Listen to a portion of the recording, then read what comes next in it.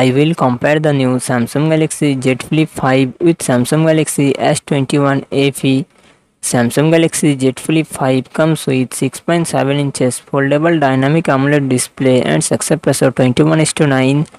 Samsung Galaxy S21 FE it comes with 6.4 inches dynamic AMOLED display and success ratio 19 to 5 to 9.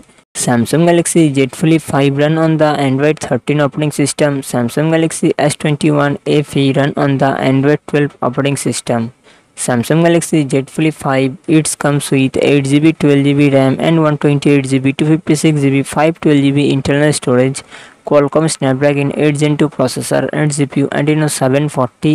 Samsung Galaxy S21 FE it comes with 6GB, 8GB RAM and 128GB, 256GB internal storage. Qualcomm Snapdragon 888 processor and GPU Adreno 616. Samsung Galaxy Z Flip 5 real set dual camera setup 12MP plus 12MP and front camera 10MP.